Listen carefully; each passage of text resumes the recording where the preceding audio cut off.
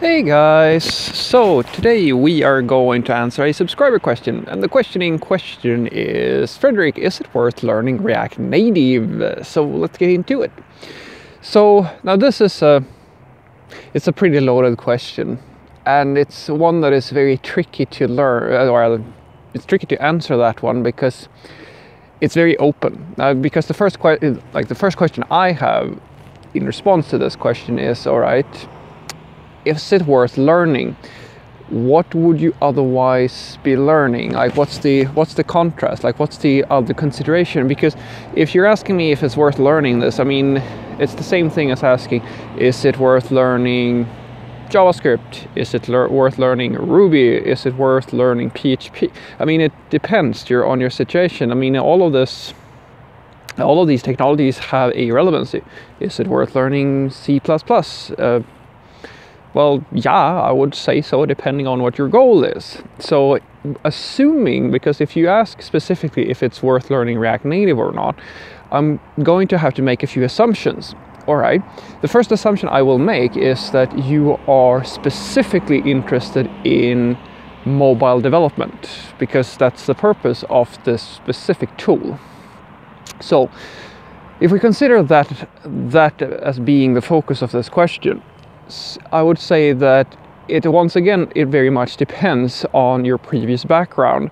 Because if you are today starting out as a complete beginner and you are asking whether or not you should go into React Native in order to do mobile development if you don't have any prior knowledge I would uh, urge you to not start there.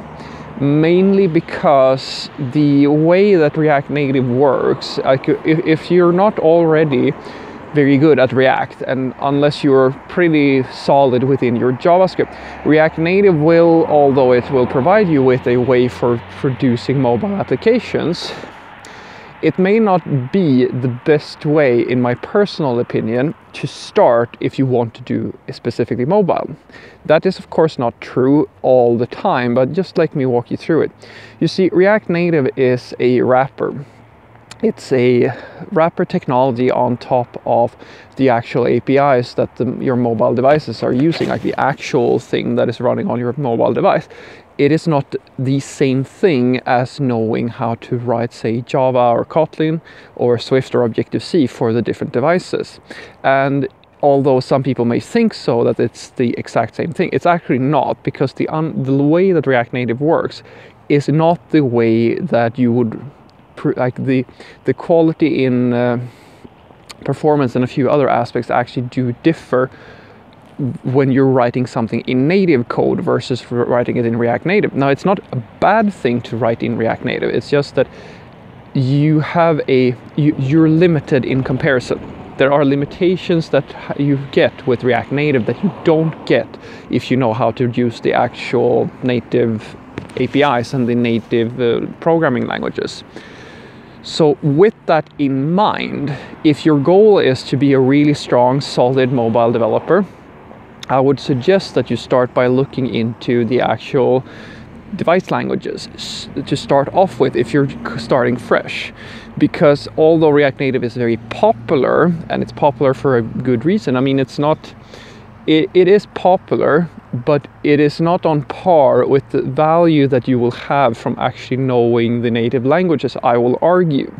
The demand is out there, and the demand is there because React Native allows you to, well, in theory, it allows you to do two things. Like the, those, the two biggest benefits to it is that number one, you're allowed to, or you're able to produce mobile experiences for both of like both iOS and for Android. That's a very powerful incentive, but it's also secondary that it's allowing it's going to allow you to have JavaScript developers or front-end developers call them whatever you want to be able to produce results with these different platforms without having to actually know the native programming languages. Now that might be a very good thing for a lot of people, but there's quite like the the market is still dominated by the actual native development uh, processes, the uh, native languages.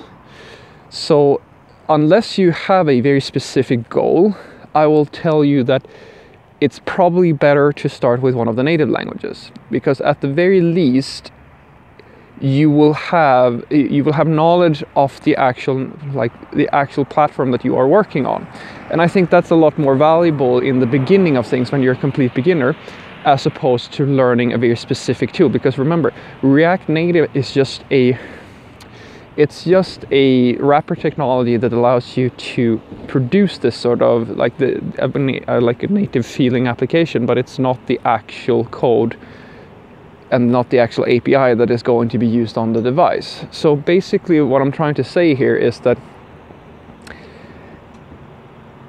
it's not that one is better than the other. It's more that React Native is a very specific way of doing mobile development, just as React is a very specific way of doing web development. And although it is useful to know this, it's a very like the React ecosystem is very very popular. I think that as a beginner, it's more important for you to actually understand how you build a mobile application, and the fact like you're still going to have I mean, it doesn't really matter if you're an iOS developer or an Android developer, there's tons of opportunities out there. There are, of course, also opportunities for a React Native developer, but I will say that I my personal opinion is that React Native was not designed to be the to be the first choice for a mobile developer. I think that you should have a strong foundation in mobile development before you go into React Native or possibly already a strong foundation in web development and just regular React development because, as I said, it's a very specific way of doing mobile development. So, what I want you to take away from this is that I, there, there's absolutely a value in learning React Native. It has it has a fair bit of relevancy in the work in the workforce.